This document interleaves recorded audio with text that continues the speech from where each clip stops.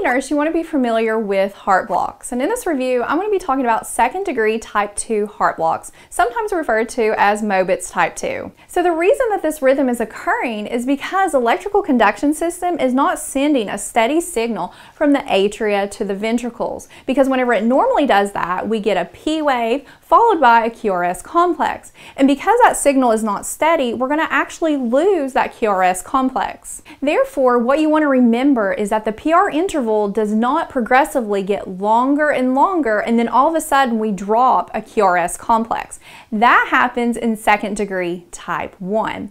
In second degree type 2, that PR interval is going to stay constant, meaning it's going to stay the same throughout that rhythm. And then we will lose a QRS complex at some point. So whenever you look at the characteristics and criteria for this rhythm, you'll see the following. The atrial rate will be normal, 60 to 100 beats per minute, and the rhythm will be regular. That PR interval is going to be constant. It's going to stay the same. And the PR interval can actually be normal or it could be prolonged. Now the ventricle rate will be slower, less than 60 beats per minute. And the reason for this is because we're missing some QRS QRS complexes sometimes, which throws off our ventricular rate. And the rhythm of the ventricular rate will be irregular, again, because we're missing some complexes. Now, whenever you do see the QRS complexes, sometimes they can be wide, greater than 0.12 seconds, or narrow, less than 0.12 seconds. And this depends really on where that block signal is within that conduction system. Now, what are some causes of this type of heart block? Well, an active myocardial infarction can cause this, especially one one that's affecting the anterior wall of the heart.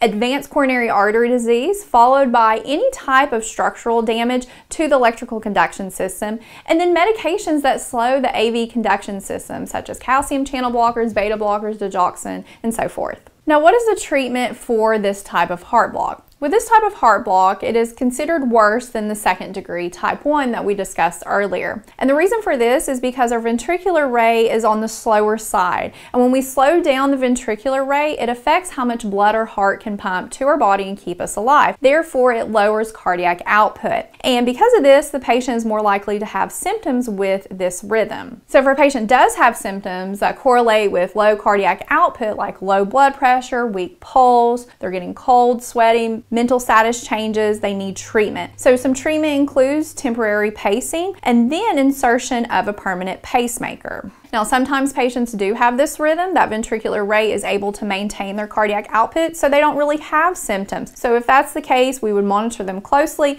and consult with cardiology for further evaluation. That may include stopping certain medications to help with that AV conduction. Okay, so that wraps up this review on second degree type 2 heart blocks. And if you'd like to watch more videos on other type of heart blocks, you can access the link in the YouTube description below.